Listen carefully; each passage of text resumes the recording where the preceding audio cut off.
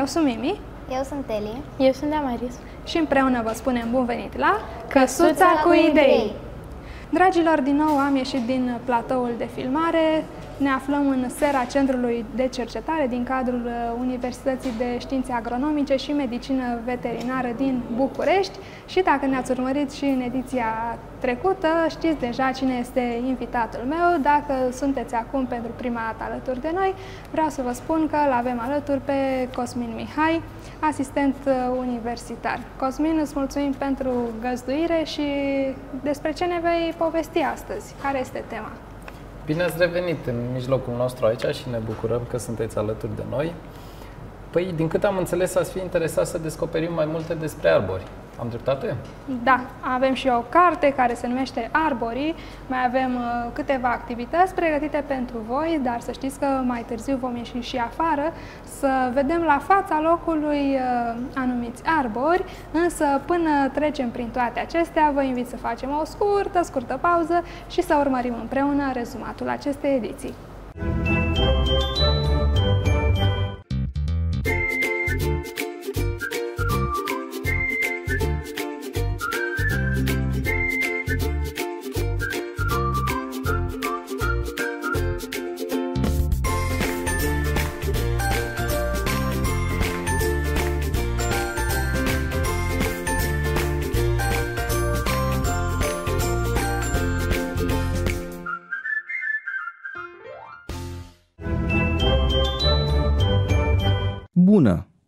Eu sunt portocală și sunt nerăbdător să discutăm, să ne jucăm și să facem tot felul de activități practice sau experimente. La început, hai să stăm puțin de vorbă.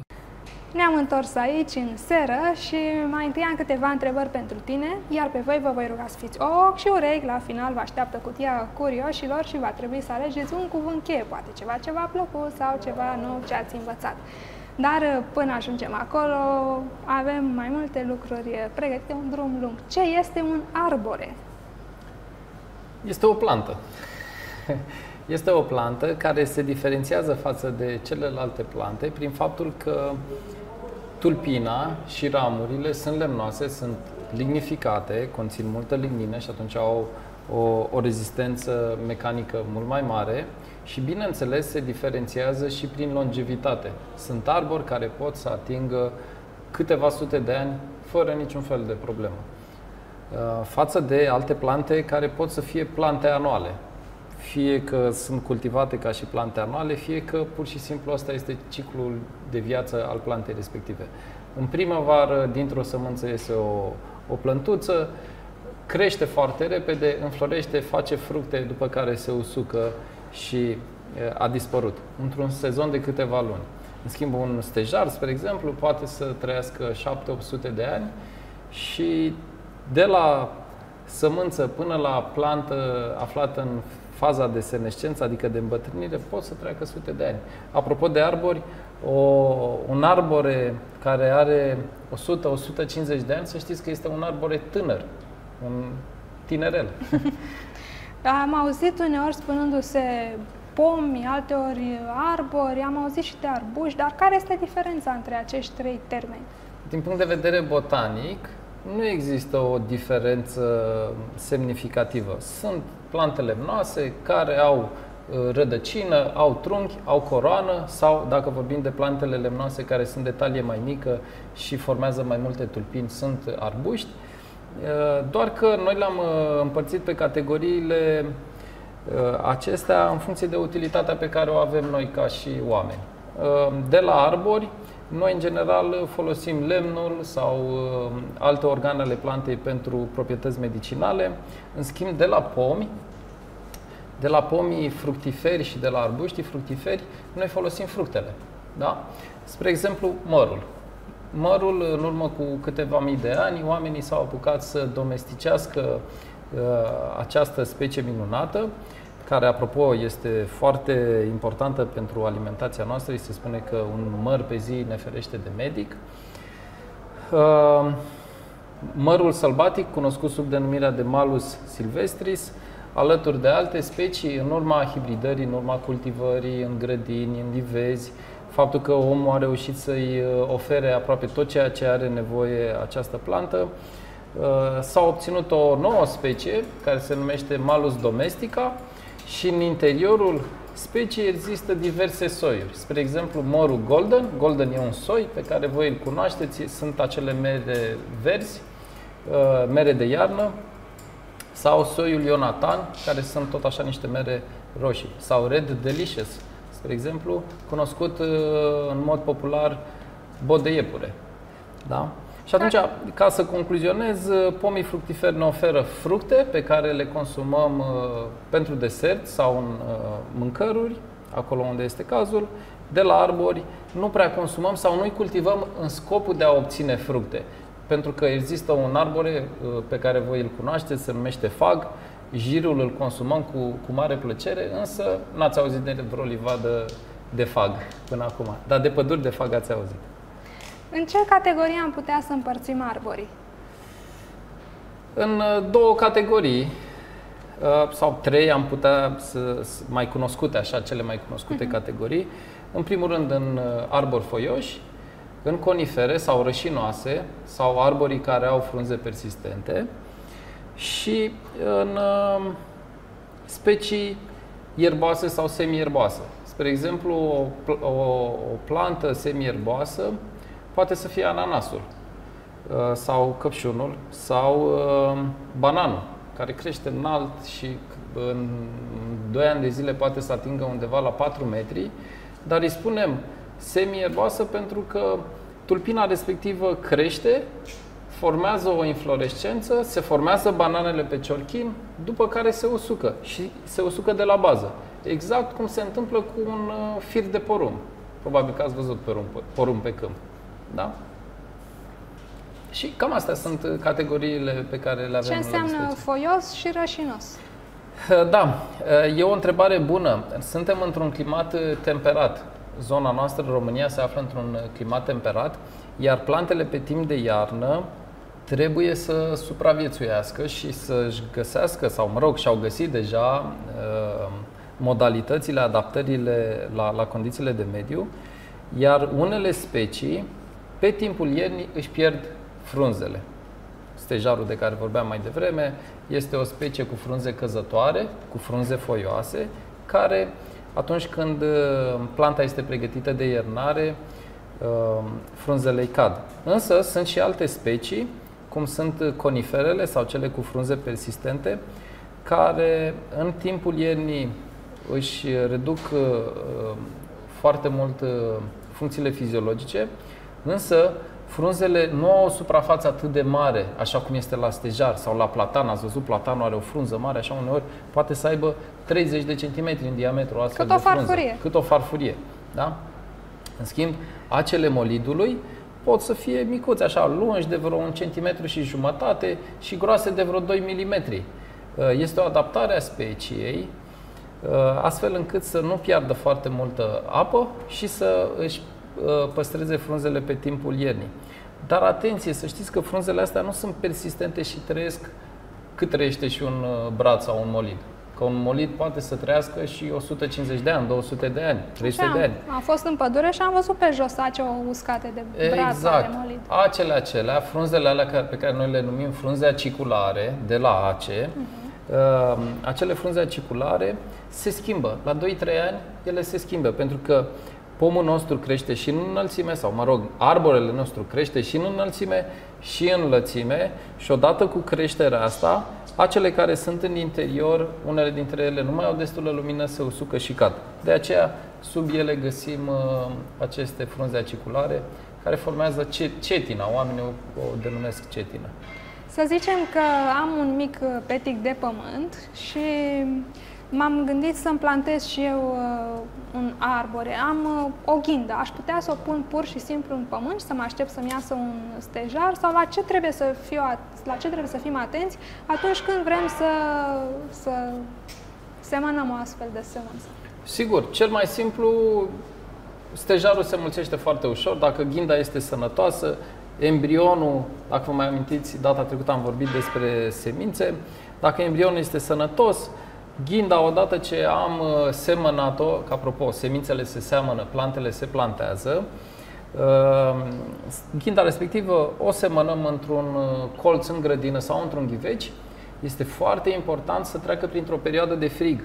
Deși poate nouă nu ne place iarna când este frig, să știți că pentru semințele plantelor din climat temperat, frigul este un rău necesar, dacă pot să mă exprim așa, și atunci embrionul respectiv trebuie să treacă printr-o perioadă de frig. Și am două variante. Fie țin ghinda la frigider, fie plantez ghinda direct în grădină sau ghiveciul las afară, să treacă prin această perioadă de frig.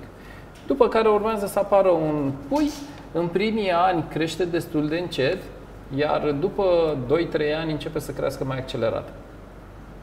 Uh, este cea mai uh, simplă metodă și vă invit să faceți lucrul ăsta. Toamna e, potrivit, e momentul potrivit să recoltați semințe. Dacă mergeți prin parcurile din uh, orice oraș din România, o să găsiți ghinde, castane, o să găsiți fructe de ginkgo biloba, o să vedeți că au consistențe diferite, forme diferite, uneori chiar și miros. Fructul de ginkgo biloba, să știți că miroase urât, vă atenționez de acum. Dar este foarte interesant. Uh, unele semințe au nevoie să treacă printr-un singur sezon rece, dar alte semințe au nevoie să treacă 2 ani de zile, deci două sezoane reci peste, peste ele. Spre exemplu, semințele de păducel sau semințele de măceș, dacă vorbim de un arbust, sau semințele de tisă, care au nevoie de 2 ani de zile ca să germineze. E drept că la unele specii, dacă vorbim de semințele de la conifere, unde știm că ele cresc în niște soluri acide, cu un pH acid, adică un pH undeva între 4, maxim 5, uh, va trebui să facem rost de turba acidă. Iar în magazinele de bricolaj găsiți turba acidă pentru plante iubitoare de pH acid. Poate ar trebui să ținem cont atunci când plantăm și de cât spațiu avem la dispoziție, dacă e aproape de zid sau dacă, nu știu, vrem să plantăm ceva ce va avea o înălțime foarte mare și să nu se spere vecinii sau părinții. Sigur că da, și spațiul contează. Acum depinde ce v-ați propus voi, că poate în prima fază vă propuneți doar să obțineți niște puieți din semințe, care urmează să fie plantați la țară sau uh, undeva pe un teren uh, unde aveți acordul proprietarului să, să plantați plantele respective. Um, contează aspectul ăsta, iar dacă vorbim de grădina voastră, întotdeauna să aveți grijă să fie undeva la 2 metri distanță de gardul vecinului, ca să nu-l deranjați. Cel puțin pentru pomii fructiferi care nu au înălțimi foarte mari. Dacă vorbim de un nuc, nucul poate să ajungă până la 10, 15, 20 de metri înălțime și atunci ar fi bine să lăsăm și o distanță și mai mare. Acum, vecinii noștri să nu se supere și e bine ca cu toții să învățăm și mă bucur că ați luat această inițiativă să dezbateți problema asta la o emisiune pentru copii, Uh, arborii ne dau foarte multe lucruri bune, uh, în primul rând oxigen și umbră. Vara cred că orice șofer caută umbra unui arbore ca să-și parcheze mașina acolo sau noi chiar pur și simplu să ne odihnim acolo. Nu cred că e niciun fel de problemă dacă toamna strângem și noi frunzele pentru că de acolo apar multe probleme, multe conflicte între vecini, frunzele uh, care pot să acopere trotuarul sau grădina. Cred că vreo două, trei săptămâni de mișcare activă prin grădină la greblă ne face bine la sănătate. E un alt fel de sport și mult mai prietenos cu, cu mediul. Un arbore de genul acesta, lângă o casă, poate să facă cât unul, două aparate de aer condiționat. Apropo Așa că de... vă invit, vă provoc să faceți lucrul ăsta. Apropo de ce ai spus prietenos cu mediul, uneori uh, apar tot felul de gângăni sau alte viețuitoare care atacă arborii sau care le fac rău acestora. Cum am putea să îi combatem într-un mod prietenos cu mediul? Până la urmă, orice specie pe planeta asta are un dăunător și omul are dăunător. Spre exemplu, păduchi. Nu știu dacă ați auzit și sper să nu fiți în situația să vedeți, dar uneori oamenii pot să facă păduchi. Și mă refer la păduchi nu de găini sau păduchi de câini, ci pur și simplu păduchi care parazitează um, specia noastră, Homo sapiens. Și în situația asta să știți că și plantele se află asemănător. Și ele au păduchi, uneori au omis care mănâncă frunzele, alteori sunt niște uh, larve care intră și pătrund foarte adânc în tulpini sau în ramuri. Și cam asta este viața. Însă putem să avem grijă de arborii noștri și să-i ferim de acest dăunător. Dar dacă îmi permiteți, aș vrea să clarific un pic termenul de dăunător. Pentru că ce înseamnă dăunător? E drept că este o viețuitoare care atacă și poate să vateme o plantă, însă pentru noi sunt competitorii noștri. Adică dacă, spre exemplu, Sidia pomonela, viermele merelor, vine să ne atace nouă merele, acela este competitorul nostru pentru hrană. Și fiindcă noi vrem să ne păzim hrana și să avem mere cât mai multe, cât mai sănătoase și cât uh, se poate de uh, uh, din abundență, da? încercăm să ne ferim de, de acești dăunători. Um, în natură, fiecare naș își are nașul lui. Nu știu dacă ați auzit vorba asta, în sensul că orice prădător are un alt prădător care limitează uh, populația. Spre exemplu, pentru Sidia pomonela, adică viermele merelor de care vorbeam mai devreme, pițigoiul mare, care e o pasăre cam atât de lungă, are undeva la 15-16 cm lungime și undeva la vreo 17 grame, într-o singură zi poate să consume o cantitate egală cu greutatea sa corporală uh, de insecte și în mod special de omizi sau de larve. Și atunci trebuie să ne împrietenim cu pițigoiul mare, să fie prietenul nostru, care să aibă grijă de plantele noastre. Uh, uneori buburuzele pot să facă lucrul ăsta. La trandafiri ați observat că sunt niște insecte micuțe cu aripi transparente, foarte firave, se numesc afide sau puriși de plante, cunoscute și sub denumirea aceasta, care în perioada mai-iunie, mai ales când avem și umiditate, ploi și căldură, se mulțesc foarte mult și pot să uh, facă foarte mult uh, rău plantelor noastre. Buburuzele sunt cele mai bune insecte prietenele grădinarului. Oh, îți mulțumim! Acum aș vrea să facem o pauză, mai avem și alte întrebări pe listă, însă uh, vă invit să urmărim un tutorial, iar apoi vom reveni aici și puțin mai târziu vom ieși și afară pentru a afla mai multe lucruri interesante despre arbori. Bună copii! Eu sunt verzitură și îmi plac foarte, foarte mult activitățile practice. Îmi place să pictez, să modelez în lut sau să experimentez tot felul de tehnici de genul acesta. Oare despre ce e vorba în activitatea de astăzi? Pentru această activitate practică, vă propun să aranjăm o grădină a piticilor folosind accesorii în care am utilizat și semințe, așa cum am învățat în ediția trecută, dar și elemente legate de arbori, cum ar fi uh, scoarță sau ramuri uh, sau uh, uh, ghinde, dacă e să ne gândim la stejar. Uh, și dacă vreți să vedeți cum am realizat câteva dintre accesoriile pe care le vom folosi aici, puteți uh, căuta în arhivă ediția de săptămâna trecută despre semințe. Acum, hai să vă povestesc pe scurt ce voi uh, folosi. Am aici niște cioburi de ceramică de la un vas sau puteți folosi în schimb pietre mai mari pentru drenaj, uh, diverse accesorii, rămurele, piticii pe care am făcut uh, săptămâna trecută, căsuțe ale piticilor, uh, și alte mărunțișuri de felul acesta. Mi-am făcut și o schiță ca să fac așa o idee despre imaginea de ansamblu a rezultatului final. Uh, plus am un vas, uh, al meu este din metal galvanizat, dar puteți să folosiți și vas de ceramică sau altceva care să țină bine uh, apa. Um, pământ de flori și câteva specii de uh, Uh, plante, unele care sunt în floare acum și se vor trece florile, altele care uh, sunt uh, doar verzi deocamdată. Să o luăm pas cu pas și să vă spun ce veți avea de făcut.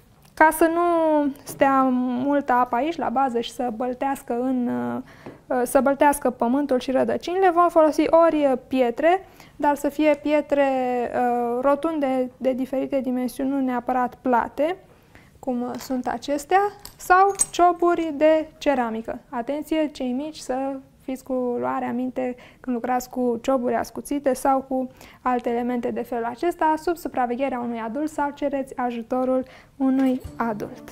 Punem un strat de uh, cioburi, de bucățele de ceramică sau pietre, iar apoi adaug pământ cam jumătate din înălțimea vasului.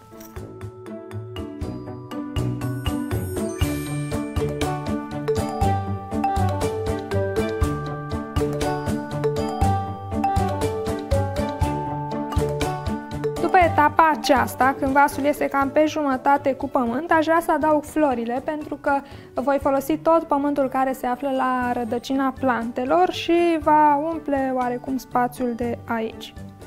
La în partea din spate voi pune florile cele mai înalte, iar pe cele mai scunde le aduc undeva mai în față să se vadă ca un fel de etaj.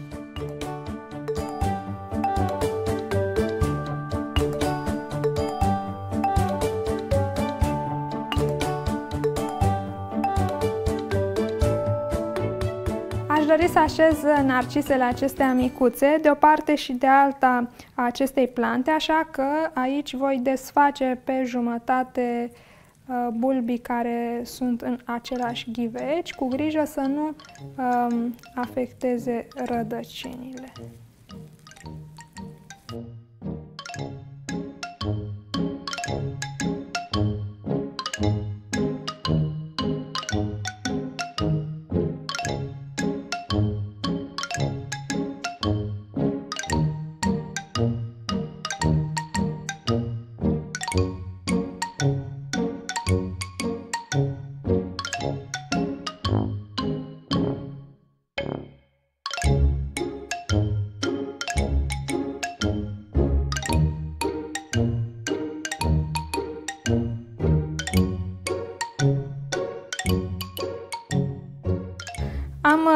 Pus pământ la final ca să umplu spațiile libere și aici în spate să mă asigur că fiecare plantă este înconjurată de suficient pământ.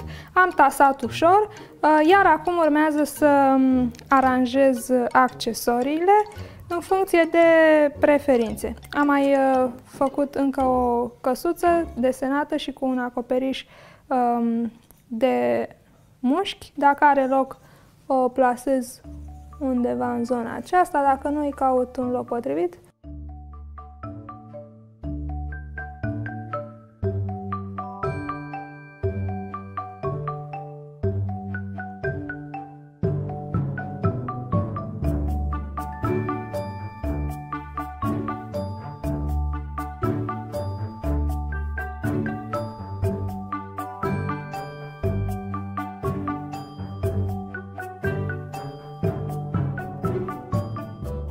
Este gata grădinița pentru pitici.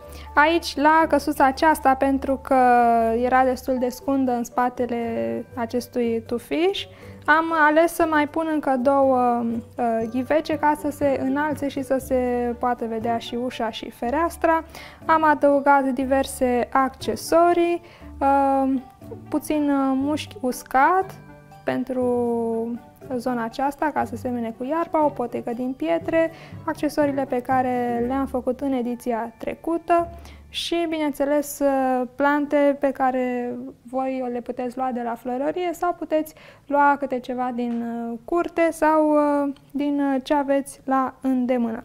Poate fi un aranjament provizoriu, de exemplu, când se vor trece plantele acestea de primăvară și vor rămâne doar bulbii, aș putea să scot bulbii și să îi păstrez undeva pentru uh, primăvara viitoare și în locul lor să așez o altă plantă. Sau aș putea folosi plante ca acestea, care trăiesc mai mult timp sau uh, plante suculente și să creez un aranjament care să reziste un timp mai îndelungat. Vă invit și pe voi să încercați să vă jucați de-a grădinăritul într-un astfel de vas, să vă faceți acasă la voi o mică grădină pentru pitici. Mult spor la lucru! Suntem în Parcul Dendrologic din USAMV București și suntem curioși să aflăm mai multe lucruri despre arbori. De exemplu, ce arbore este lângă noi și cum putem să facem diferența între uh, pin, brad, molit, că toate au ace și sunt foarte asemănătoare. Fiindcă suntem într-un parc dendrologic, pe partea de conifere vrem să ne mândrim cu un exemplar frumos din America de Nord, care poartă denumirea de Pseudotsuga menziensis, este rudă cu bradul și are o aromă, dacă îi zdrobim frunzele aciculare, un parfum, o aromă de citrice, uh-huh. foarte, foarte pronunțată. Acum, revenind la întrebarea cu diferențele între cele trei uh, familii, familia bradului, a pinului și a molidului, În primul rând o să încep cu pinul. La, pinul, la pin, întotdeauna uh, frunzele aciculare sunt grupate uh, cel puțin 2, 4, 5 frunze aciculare în funcție de specie și sunt prinse într-o microblastă. Adică o, o, o ramură foarte scurtă. Asta înseamnă microblast. Și acesta este pinul. În general, aceste frunze aciculare la pin sunt cu vârful ascuțit și pot să fie mai dure sau mai moi. Spre exemplu, există un, un pin care se numește pinul strobus sau pinul, pinul moale, care are frunzele aciculare foarte, foarte blânde. Uh, în schimb, la brad, frunzele aciculare sunt solitare, vârful frunzei este rotunjit, iar frunza este aplatizată și îngustă. Pe partea dorsală a frunzei există două dungi albe. Pentru cine nu știe ce înseamnă partea dorsală? Pe partea, de, pe partea din spate a mhm. frunzei, uh-huh. da? Uh, există două linii de culoare gri alb, spre alb, da? care sunt uh, stomatele, sunt vizibile. Ce e foarte important de reținut? Că are doar două fețe. În schimb, la molid frunzele sunt trimuchiate, deci au trei fețe și vârful ascuțit și te înțeapă. Când dai cu degetul într-o astfel de frunză, o să observi că, că te înțeapă. Astea sunt caracterele principale care ne ajută pe noi să diferențiem cel puțin genul. Deci dacă este din genul abies, adică genul bradului, dacă este din genul uh, Picea, genul molidului, sau dacă este din uh, genul Pinus, adică genul uh, pinului. Pentru că fiecare gen avem diferite specii, mai mult sau mai puțin uh, cunoscute. De asemenea, putem să observăm de la distanță, dacă ne uităm la un arbore sau la un conifer, putem să observăm cum sunt poziționate conurile la Abie salba, bradul autohton care se găsește în flora spontană din România și care este foarte cunoscut și apreciat mai ales în perioada sărbătorilor, conurile nu o să le găsim niciodată uh, întregi pe jos. Pentru că atunci când ajung la maturitate, ele se scutură solzișor, solzișor cu solzișor și nu o să găsim decât solzi pe dedesubtul plantei. În schimb, la uh, molid, conulețele vor fi întotdeauna pendule și cu vârful în jos și pot să cadă când ajung la maturitate să rămână, să rămână întregi și să le observăm uh, pe jos. La uh, pin, conurile sunt uh, cu solzi mai groși, de obicei au trei fațete asemănătoare cu un scut și pot să fie și aici de diferite dimensiuni. Cam astea sunt cel puțin criteriile de bază de diferențiere și care ne ajută să identificăm speciile. Acum, din punct de vedere horticol, în cadrul acelei specii pot să existe varietăți. Și o să vă dau un exemplu foarte cunoscut, uh, molidul argintiu, care e tot picea, doar că uh, din datorită, aș putea spune, datorită unor schimbări, poate de mediu sau a altor factori, și-a schimbat nuanța culorii. Și atunci uh, silvicultorii, horticultorii s-au apucat să-l înmulțească și am ajuns astfel încât să avem și varietatea asta care este foarte ornamentală în grădină. De aici aș vrea să mergem uh, către alun și să ne arăți uh, florile alunului, pentru că noi filmăm acum într-o perioadă de final de februarie și nu avem așa mulți arbori înfloriți sau înverziți, însă alunul ne așteaptă, așa că haideți cu noi! Am ajuns la alun și abia așteptăm să ne spui mai multe despre florile alunului. Care sunt și care e treaba cu florile alunului? După cum observați, alunul este prima specie pomicolă care înflorește în România și e interesant așa ca și morfologie pentru că are flori femele dispuse separat și flori mascule dispuse separat, însă pe aceeași plantă și ceea ce vedeți așa de culoare aurie uh, și penduli, vedeți cum bate vântul și se mișcă foarte frumos, sunt amenții, adică florile, florile mascule, cele care produc polen.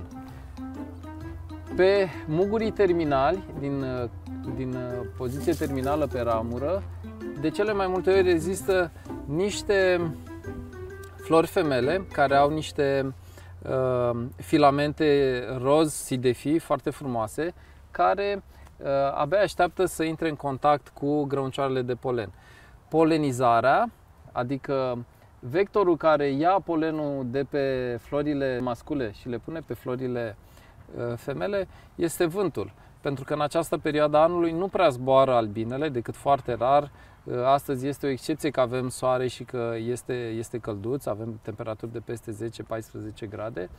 În schimb, vântul este principalul uh, element care face polenizarea. După care urmează, bineînțeles, uh, o perioadă, poate chiar de 5-6 săptămâni, în care polenul stă uh, în apropierea tubului polenic.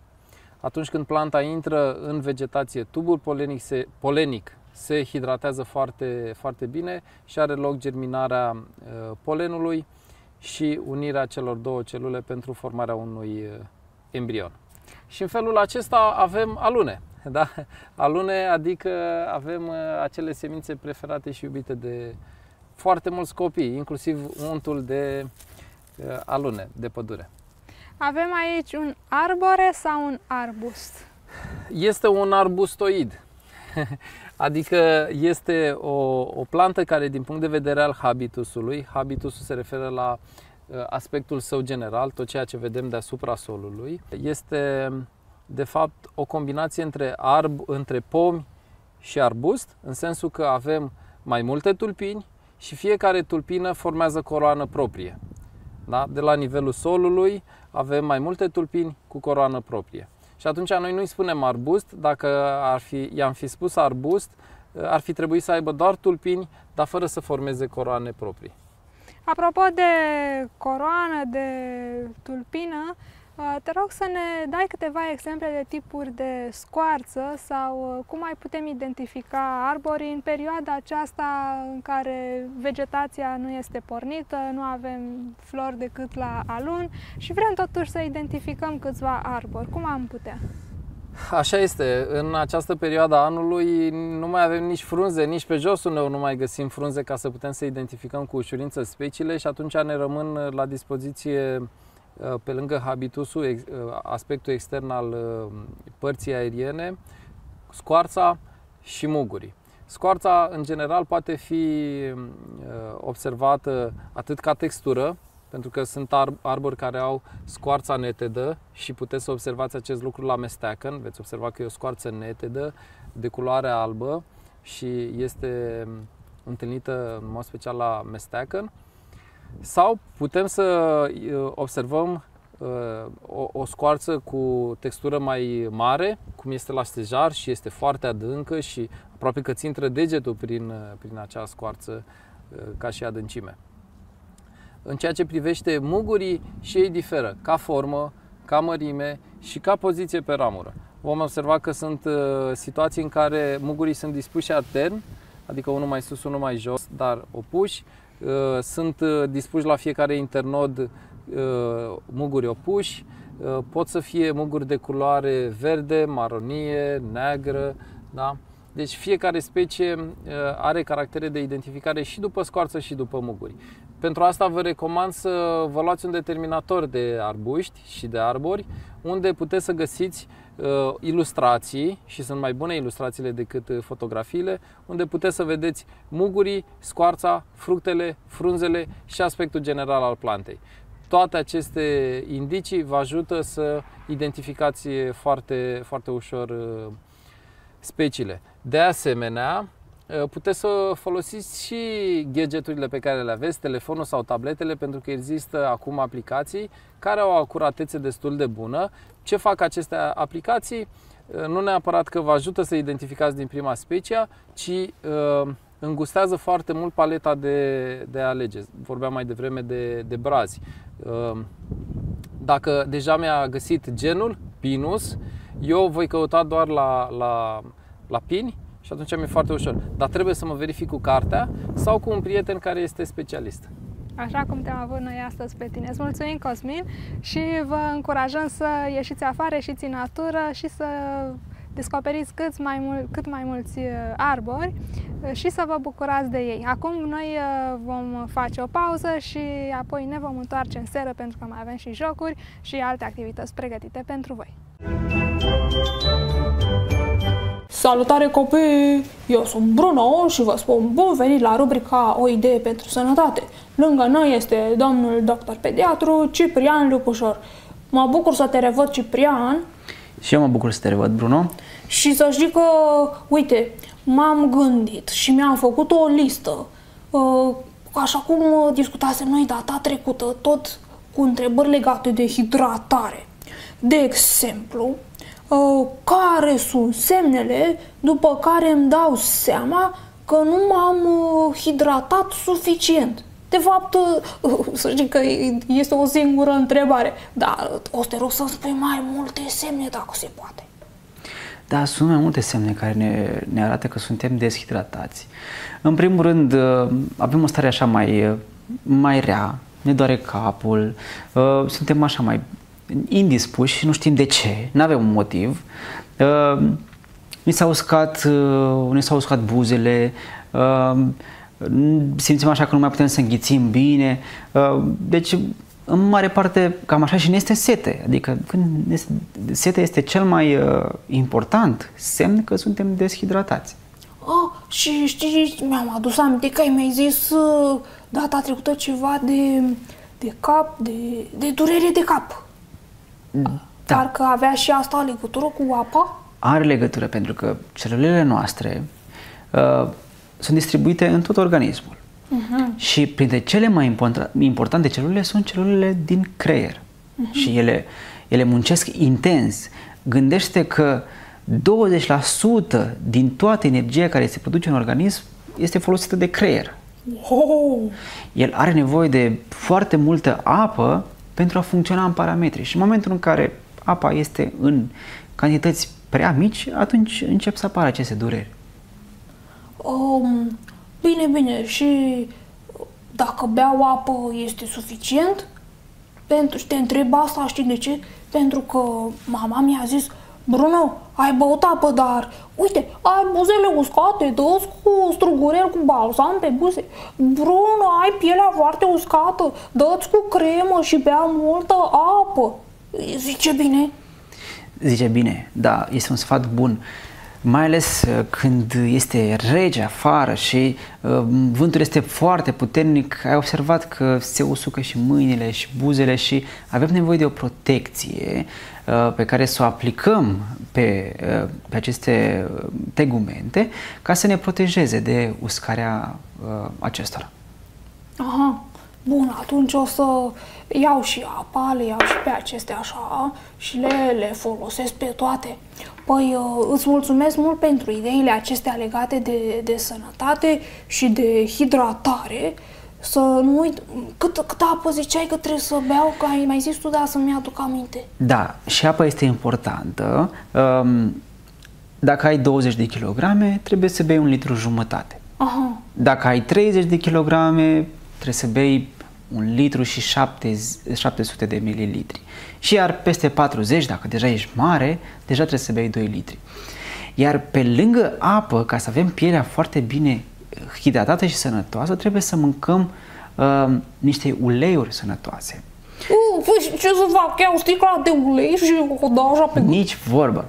Poți să mănânci niște nuci, o mână de nuci sau niște migdale sau niște mm. avocado sau niște caju și ele conțin niște grăsimi care ajută din interior să protejeze pielea de uh, tot ce este în jurul nostru.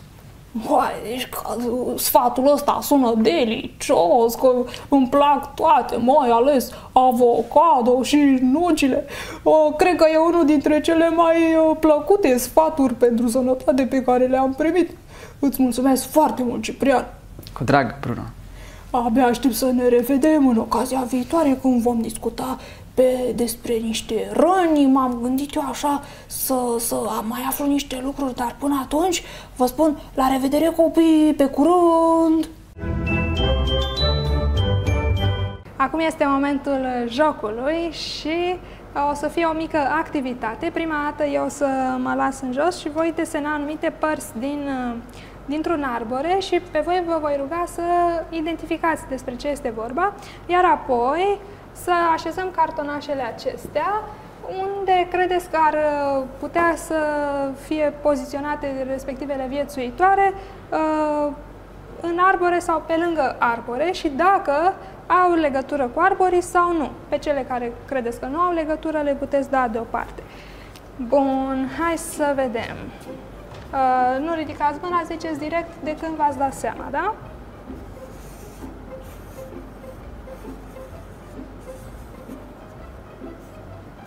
Are rădăcină. Foarte bine, avem o rădăcină. Perfect, tronchi. Coroană. Exact, am ajuns și la coroană. Așa, facem o schiță rapidă. Și frunzele. Bun. Acum eu o să mă ridic și amestec cartonașele pe care vi le împart așa cât de cât pe jumătate. Le așezați și apoi comentăm.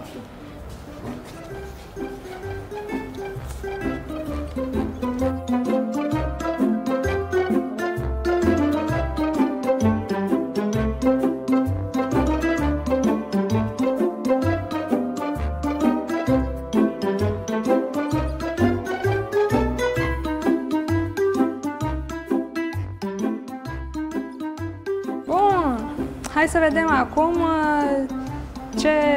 viețuitoare avem aici. Ar pe tine, Cosmin, te voi ruga să ne spui dacă e bine sau uh, ce ar, trebui, ce ar fi trebuit să facem altfel. O luăm de la bază. Avem o căprioară, cred, Nu, o, este o femelă de cerb. o femelă de cerb, o ciută, O un ciută. melc, o buburuză, o șopârlă sau un O bușter. șopârlă, da. și un hamster, dar ne putem imagina că e un șoricel. N-am avut uh, cartonaș cu șoricel. Îl putem spune, îl putem uh, prezenta ca șoricel. Apoi o ciocănitoare pusă pe trunchi, în partea de sus veveriță, altă ciocănitoare, pupăză, buhă, țiclean, pițigoi, omidă, vrabie, vânturel, Este o femelă de vânture roșiatic. vânturel roșiatic, mierlă. Și deoparte, ca și cum ar fi fost aici uh, capcane, avem un brotăcel și un mistreț. E corectă împărțirea? Uh, aproximativ uh, corectă, dar uh, vreau să vă spun că, um, spre exemplu, brotăcelul și mistrețul au legătură strânsă cu arborii și atunci mistrețul putem să-l lăsăm pe sol, Da. pe unde sunt rădăcinile, să zicem, stejarului nostru. De ce? Mistreții se hrănesc cu ghinde și pe rădăcini există în unele cazuri unele ciuperci care trăiesc în simbioză cu rădăcinile Mhm. arborilor, cum sunt trufele. Probabil că ați auzit despre trufe, sunt niște ciuperci foarte scumpe, iar mistrețul are un simț olfactiv, un simț al mirosului foarte bine dezvoltat și are capacitatea ca în sol să găsească aceste rădăcini și cu râtul, adică cu nasul lui care are o formă un pic ciudată, să împingă pământul și să dezgroape uh, aceste ciuperci. Buburuza, în uh, situația asta, este un adult care poate să urce în coroana pomului. Deci poate să, să fie și pe sol, dar poate să fie și în coroană. Deci atunci l-aș pune un pic mai sus. Rozătoarele, e drept că în general se găsesc la nivelul solului, dar sunt unele uh, rozătoare care pot să urce și în coroană, cum sunt pârșii. Da? Uh, am văzut că ai aici un brotăcel. Asta este o broscuță foarte frumoasă și uh, îi se mai spune brotăcelul oriental. Este o broască, un amfibian, care nu trăiește în mod special în zone cu apă, în lacuri, ci au pe piciorușe niște ventuze care îi ajută să urce chiar și în coroana stejarului nostru. Și Și cum cântă avem foarte broască frumos. în copac? Sigur, sigur că da. Avem uh, broaște, avem multe specii de păsări uh, care trăiesc uh, și care depind de arbori. Ciocănitorile sunt, să știți, de fapt, medicii plantelor lemnoase, pentru că au un cioc foarte puternic, special uh, uh, conceput astfel încât să poată să găurească scoarța, să găurească lemnul și să sape galerii după larvele care intră și parazitează arborele. Apropo de omidă, chiar de curând am citit că într-un stejar, sau mai bine spus, un stejar poate să fie gazdă sau poate să fie casa a peste 400 de specii de fluturi și uh, fluturi de zi și fluturi de noapte uh, în Europa, ceea ce e extraordinar, vă dați seama, 400 de specii. Și fiecare specie poate să aibă zeci sau sute sau chiar mii de exemplare.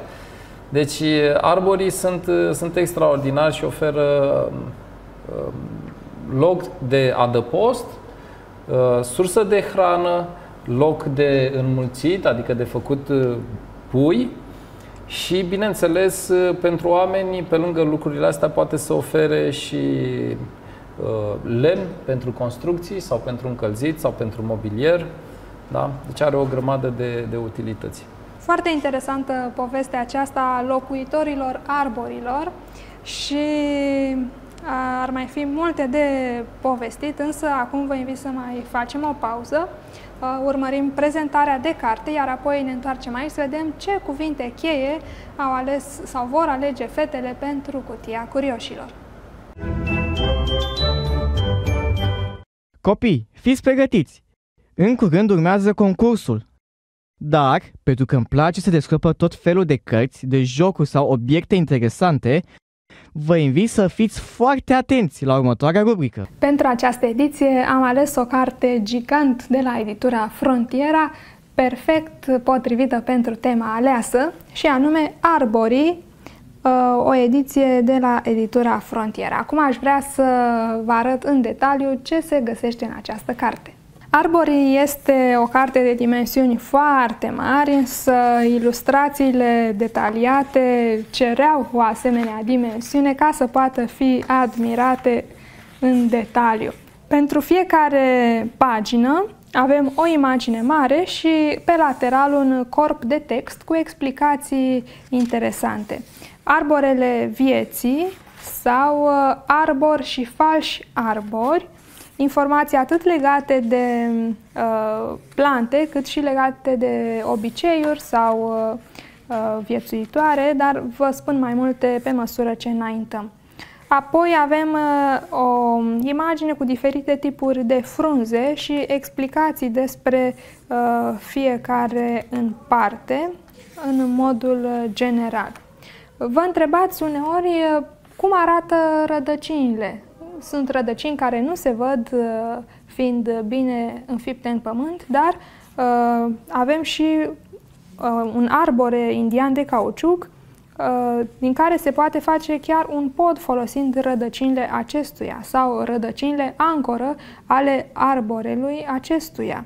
Avem rădăcinile de la mangrove, avem um, rădăcini ancoră de mangrove roșii, rădăcini respiratorii, și tot felul de uh, informații și detalii interesante, apoi și despre anotimpuri și cum arată uh, arborii pe măsură ce timpul trece. Apoi aflăm cum călătoresc arborii, cum sunt diseminate semințele sau uh, cum uh, ajută o țestoasă sau un mătăsar sau un liliac în uh, procesul acesta. De asemenea, dacă mai frunzărim, ajungem și la baobabii, arborii aceia uriași, foarte, foarte mari și impresionanți, sau uh, la devoratorii de arbori. Uh, uneori sunt dăunători sau uh, alte viețuitoare care se hrănesc cu anumite elemente din arbori. Locuitorii arborilor, despre camuflaje, arborii preistorici sau uh, cei mai înalți arbori și curiozitățile sunt binevenite. Ia uitați cum ar arăta cel mai gros arbore sau cei mai bătrâni.